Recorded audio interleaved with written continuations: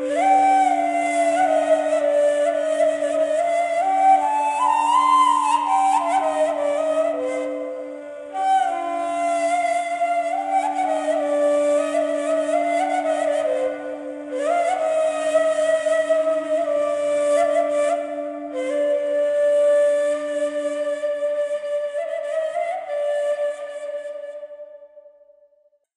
الله الرحمن الرحيم. Elhamdülillahi Rabbil alemin. Ve salatu ve selamu ala seyyidil murselin. Seyyidina ve Resulina Muhammed ve ala alihi ve sahbihi ecmain. Değerli kardeşlerim, Sahih-i Buhari derslerinde Kitabul Edeb bölümü hadisi şeriflerini okuyoruz. Bu hadisi şerifler ışığında İslam ahlakı, İslam edebi konumuz. Hepimiz İslam ahlakına muhtacız. Gencimiz, yaşlımız, çocuğumuz, herkes, kadın erkek, herkes ama herkes İslam ahlakıyla ahlaklanmalı. Dolayısıyla bu konudaki hadis-i şerifler gündemimizde ilk sırayı yer almalı. Onun için bu konu seçildi ve İmam Bukhari edeple ilgili en sahih, en makbul hadisi şerifleri bizim için derledi ve sahihinde Kitabul Edeb bölümünde bunları bize takdim etti. Bir suizan vardır. Kötü düşünce beslemek. Arkadaşımız, dostumuz, yakınımız, komşumuz ve başka insanlar için bir takım kuruntular, vesveseler, bir takım kötü düşünceler beslemek. Bu haramdır. Bunun tam tersi hüsnü zan. Arkadaşımız hakkında güzel düşünceler beslemek. Biz tanımadığımız veya yeni tanıştığımız kimselere karşı hüsnü zan beslemek durumundayız. Çünkü mecelle kaidesi, İslam hukuku kuralı beraatü zimme asıldır. Yani öncelikle herkes suçsuz, günahsız kimse olarak kabul edilmeli. Asıl olan insanın tertemiz oluşudur. Bir delil, bir şahit, bir kanıt olmadıkça ya bunun gözünü beğenmedim, bunun sözünü beğenmedim, duruşunu beğenmedim diyerek suizan yapmamız doğru değil. Hüsnü zan edeceğiz. Ama şimdi okuyacağımız hadis-i şerifler ne hüsnü zan ne de suizan caiz olan düşünceler. Bu ma yekunu minezzan e, bu e, hadisi şerif bu babun başlığı İmam Buhari'nin başka rivayetlerinde babu ma yecuzu minezzan caiz olan düşünceler şeklinde gelmiştir. İmam Buhari bu konu başlığı altında, bu bab başlığı altında iki hadisi şerif zikredecektir. Müellif el imam Muhammed bin İsmail el Bukhariyyü rahimehullah rahimena ma'a.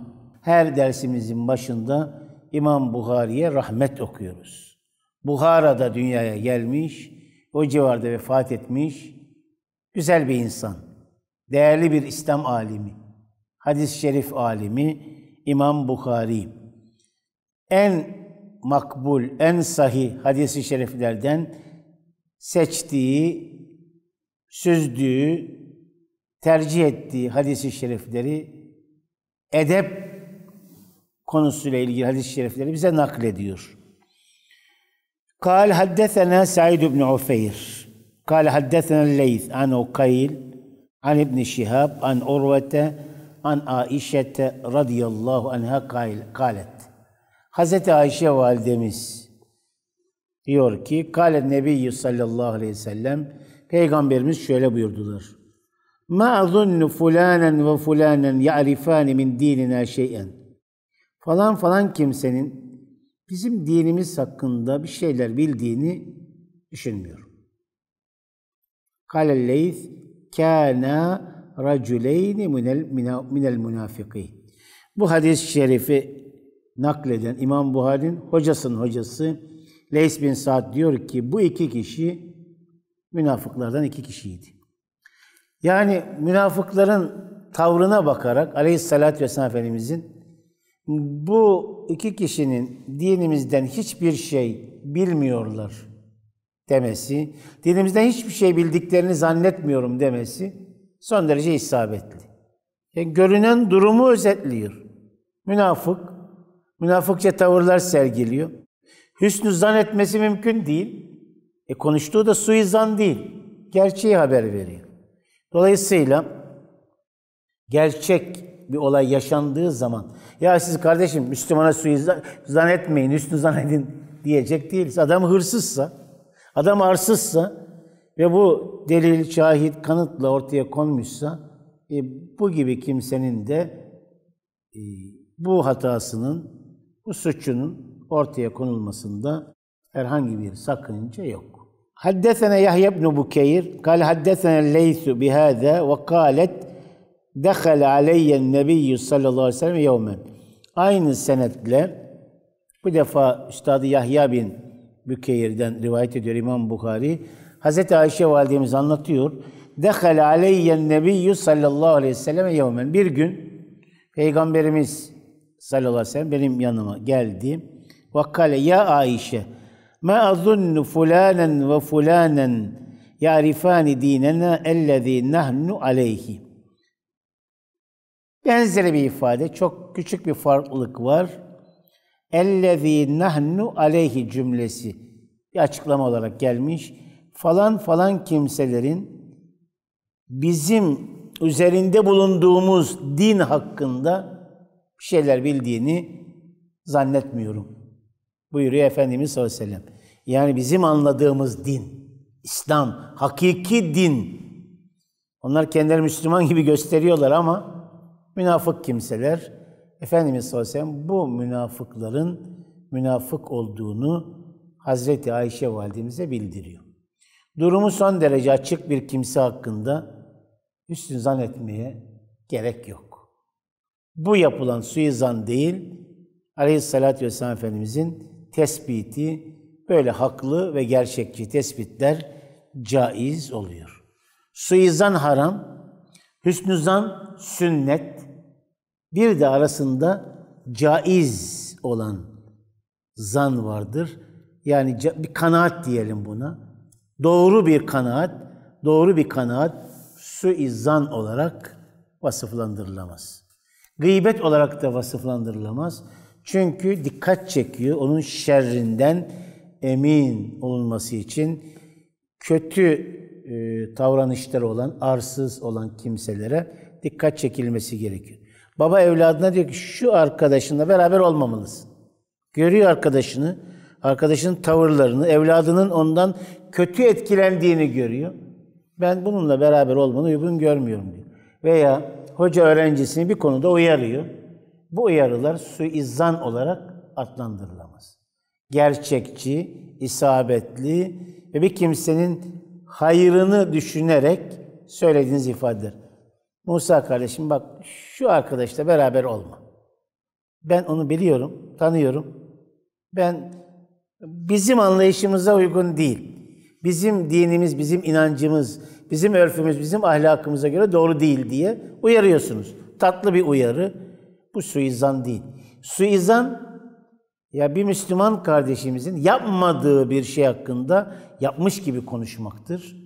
E bu gerçekten çok kötü. Hüsnü zan yapmadığını sanki yapmış gibi hayırlı bir düşünce olarak nakletmektir. Bu da çok güzel. İyi niyetli olmaktır. Müslüman din kardeşi için daima iyi niyetlidir. 60. baba geçiyoruz. Bab diyoruz. İşte bölüm, alt bölüm bab. Artık bu dersleri takip edenler bunu da öğrenmiş olmalılar. Kitabul Edep ana bölüm. Ahlak, edep, fazilet ile ilgili hadis-i şerifler. Bab alt bölüm. 1200 ee, sene önce telif edilmiş eserde Sahih-i Bukhari ana bölümler ayrılıyor. Sonra alt bölümler ayrılıyor. Sonra tek tek hadis-i şerifler zikrediliyor. Yani ilmi, akademik düzen noktasında 1200 sene önce İslam alimlerinin inceliğini görüyoruz. Babu setril mu'mini ala nefsihi müminin kendi günahlarını örtmesi, açığa vurmaması. Daha önce işlemiş olduğu hataları başkalarına söylememesi ile ilgili hadisi şerifler. حدثنا عبد العزيز بن عبد الله قال حدثنا إبراهيم بن سعد عن ابن أخي ابن شهاب عن ابن شهاب عن سالم بن عبد الله قال سمعت أبا هريرة رضي الله عنه يقول Salim bin Abdillah Hazreti Ömer'in torunu. Fukahayı sebadan, yedi büyük fakih alim. Demek ki sadece babasından rivayet etmiyor, aynı zamanda büyük hadis alimi, sahabi Ebu Hureyre'den de rivayet ediyor. Ebu Hureyre radıyallahu anh anlatıyor. Yakul semi'tu Resulallah sallallahu aleyhi ve selleme yakul. Peygamber Efendimiz sallallahu aleyhi ve sellem şöyle buyurduğunu işittim. Çok önemli bir hadis-i şerif. Dikkatle dinle, dinlemenizi rica ediyorum. Kullu ümmeti muafa. Ümmetimin tamamı afiyet içerisindedir. Sağlıklıdır. Günahlarından muaftır. Hatalarından muaftır. İllel mucahirin ancak açıktan günah işleyenler müstesna. Açıktan günah işleyenlere ne diyoruz? Fasık veya facir diyoruz. Günahından utanmayan insanlar. Arsız, günahkar, suçlu ancak büyük bir şey yapmış gibi arsızlığını da böyle ortaya koyan insanlar. Bunlar müstesna her ümmet, ümmetimden her kişi affa, affedilmeye layıktır. Yani günahlardan muaf tutulmaya layıktır. Yani Cenab-ı Hak tarafından affa afiyete layık kılınabilir. Ancak arsız olanlar, arsızlığını açıkça ortaya koyanlar müstesna. Ve inne minel mucaneti açıktan günah işleyenlere ek olarak bazı kimseler var. Ve inne minel mucanet en ya'mele'r raculu bil-leyli amelen sümme yusbiha ve kad seterahullahu aleyh. Bir kimse geceleyin herhangi bir hata işlese, sonra sabah olduğunda hatasının hakkında kimse fark etmediği halde, buradaki ifadesini ifadeye göre hatasını Allah örttüğü halde feyekul şöyle dese ya fulan amiltul barihate keda ve keda. Arkadaşım dün akşam biz öyle içtik ki, öyle eğlendik ki, neler neler yaptık. İçtiği içkiyi, oynadığı kumarı, işlediği halkları affedersiniz, bir güzel arkadaşına nakletse. Vakat bâte yesturuhu rabbuhu Rabbi onu örttüğü halde. Ve yusbihu yekşifu sitrallahi anhu Allah'ın örtüsünü açarak bunu naklederse sanki açıktan günah işlemiş gibi olur. Bu ifadeden şu anlaşılmasın. Günahınızı gizleyin, gizli yapın. Aman kimse duymasın şeklinde bir anlam çıkartılmamalı. Ama bir kusur, bir hata, bir günah işlediği halde bu günahını Cenab-ı Hak örttüğü halde bunu açığa vurmak, bunu başkalarına duyurmak sanki çok büyük bir marifet işlemiş gibi. Bunu kendi hatasını deşifre etmek tıpkı açıktan günah işlemiş kimsenin durumu gibidir. Hadis-i şerifin ilk cümlesi kullu ümmeti muafen illel mucahirin. Ümmetimden her biri, ümmetimin tamamı affa, afiyete, muaf olmaya yani Cenab-ı Hak tarafından bağışlanmaya layıktır. Açıktan günah işleyenler veya gizli işlediklerini açığa vuranlar müstesna. Öyle kardeşlerimiz var. Gençliğinde birçok hatalar işlemiş. Büyük günahlar işlemiş. Ve sonra bir dönüş yapmış. Ben daha iyi bir Müslüman olabilirim. Daha iyi bir insan olabilirim demiş. Hastalık sebebiyle olabilir, cenaze sebebiyle olabilir, yaşlılık sebebiyle olabilir veya yaptıklarının kötülüğünü anlama sebebiyle olabilir. İnsanda akıl var, irade var, düşünce var ve bir dönüş yapmış. Dönüş yaptıktan sonra biz gençliğimizde ne hırsızlıklar yaptık, ne arsızlıklar yaptık diye tek tek anlatıyor. Anlattığı zaman bugün işlemiş gibi ona yazılmakta. Yani sizi de şahit tutmaktadır.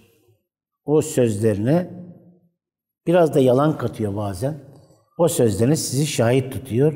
O günahını açıktan işlemiş kimse gibi günahkar oluyor. Tarihte nice insanlar var. Hazreti Ömer radıyallahu anh hayatının ilk yarısı başka, ikinci yarısı başka. Şu ilk yarısında yaptıklarını sonradan güzel bir şeymiş gibi nakletmiş olsa Ömer olamazdı.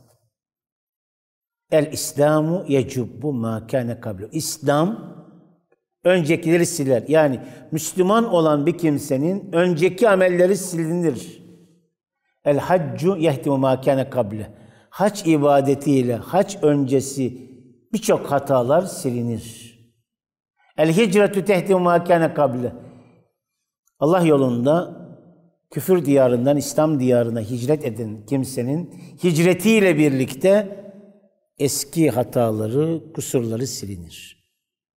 Şimdi bunlar silindikten sonra tekrar bunları gündeme getirmek yanlış. Peki hiç mi gündeme getir getirmeyeceğiz? Evet.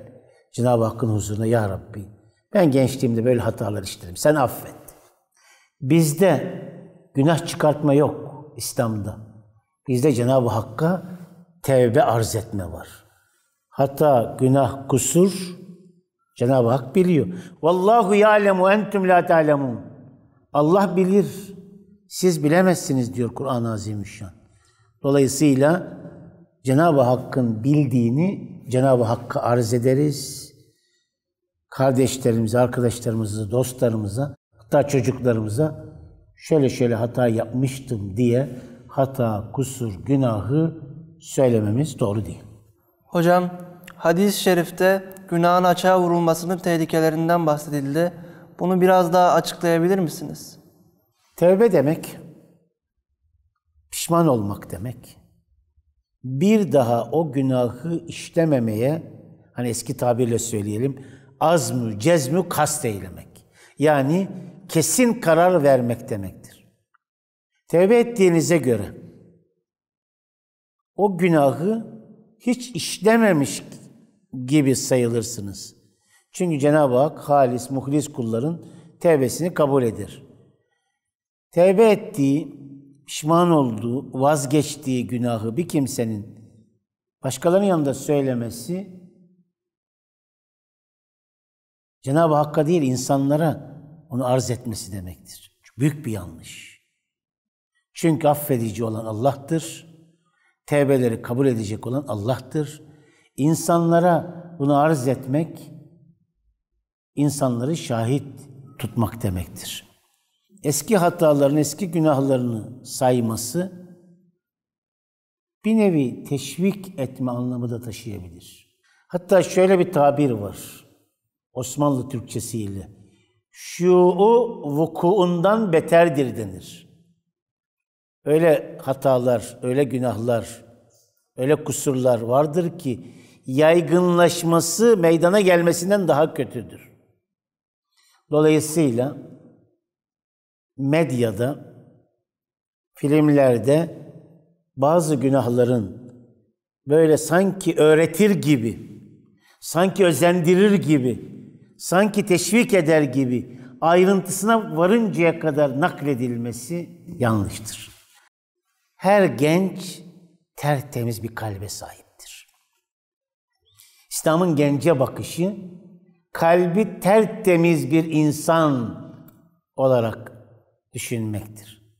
13-14 yaşında yeni yeni amel defteri kirleniyor. Şimdi 15 yaşındaki ve taze bir delikanlıyla 65 yaşında amel defteri artık kirlenmiş, karalanmış bir insanın amel defteri arasında elbette fark vardır. Abilerimiz, büyüklerimiz Bu noktada kırılmasınlar. İslam'ın bakışı bu. Genç adama profesyonel günahkar olarak bakmayın. Siz gençlerin biz kapılı kapalı kapılar ardında neler yaptığını biliyoruz demek e, elbette yanlıştır.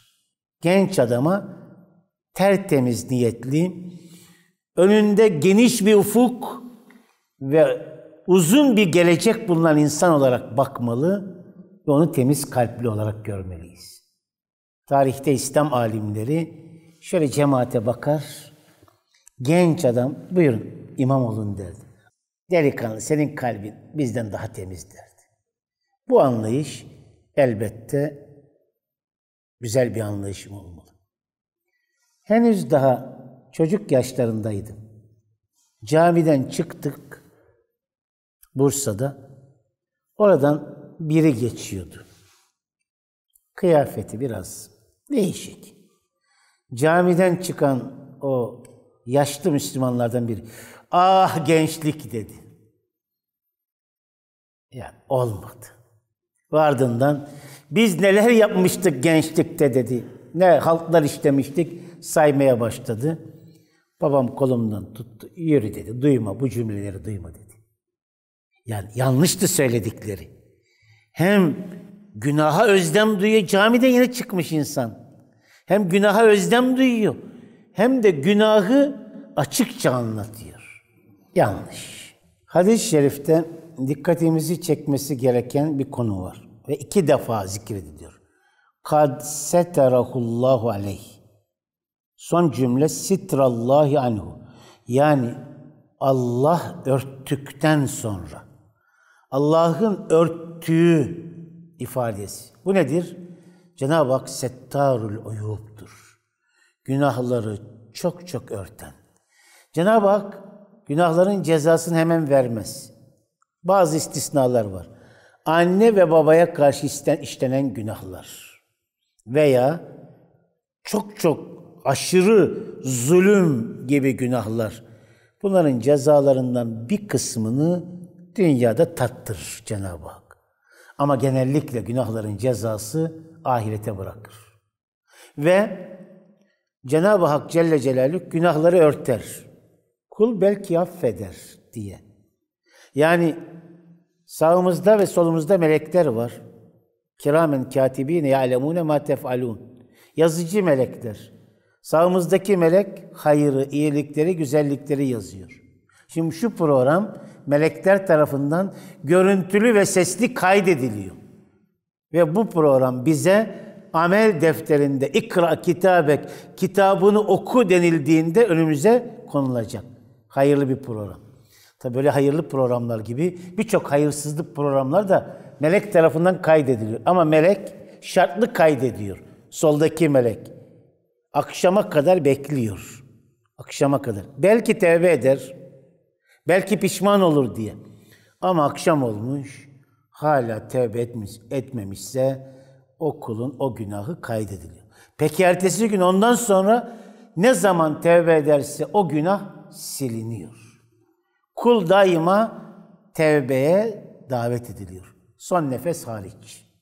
Son nefeste yapılan tevbe, can boğaza gelince yapılan tevbe kabul edilmiyor. Dolayısıyla biz günahlarımızı hiçbir zaman insanlara arz etmeyeceğiz. Cenab-ı Hakk'a arz edeceğiz. Ya Rabbi affeyle diyeceğiz. Pişman olacağız. Tekrar işleme durumunda kalsak bile tekrar pişman olacağız. Kul yüzlerce defa günah işlese de Ya Rabbi dediği müddetçe Cenab-ı Hak affedecektir. Allah Settar ismi şerifiyle hatalarımızı, günahlarımızı kusurlarımızı örtüyor. Allah'ın örttüğünü açmayın diyor Efendimiz sallallahu aleyhi ve sellem. Allah'ın kapattığını açığa vurmayın ki Cenab-ı Hak sizi bu manada hesaba çekmesin. Kıyamet gününde amel defterini açtığımızda yüzümüzün kapkara olmasından, elimizi yüzümüze kapamaktan Rabbimize sığınıyoruz. Ya Rabbi bizi huzurunda mahrum eyleme. Ya Rabbi bizi huzurunda mahcup eyleme. Ya Rabbi tertemiz, günahsız olarak huzuruna varanlardan eyle. Bu dua ile, bu niyazla, bu yakarışla dersimizi bitiriyoruz. Allah'a emanet olun efendim.